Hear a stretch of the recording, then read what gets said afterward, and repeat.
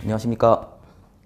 저는 슈나이더 일렉트릭 코리아의 자동화 사업부 마케팅 팀장을 맡고 있는 정성엽입니다. 2018년에는 산업형 사물 인터넷과 Industry 4.0의 성장이 그 어떤 해보다도 가속화될 것으로 전망하고 있습니다. 이에 슈나이더 일렉트릭은 1997년부터 Transparent Factory라고 하는 개념으로 이더넷 통신을 전 제품에 적용하여서 제품들을 연결시켜 왔었습니다.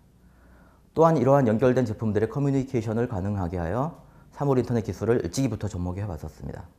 슈나이더 일렉트릭이 완성한 EcoStruxure, EcoStruxure라고 하는 플랫폼을 이용하여 사물 인터넷을 접속하고 하드웨어부터 소프트웨어까지 통합적으로 운영할 수 있게 지원하는 플랫폼을 개발하여 배포하고 있는 상황입니다. 효율적인 에너지 관리와 공정 최적화를 가능하게 하여 진화하는 지능형 산업 시스템에 최적화된 솔루션이라 자신있게 말할 수 있습니다. 또한 슈나이더 일렉트릭은 AR과 VR 기술을 활용한 BGO 360, 심사이, 아이심 여러 가지 기술들을 활용하여서 고도화된 제조 산업 현장에서 빠른 의사결정을 가능하게 합니다.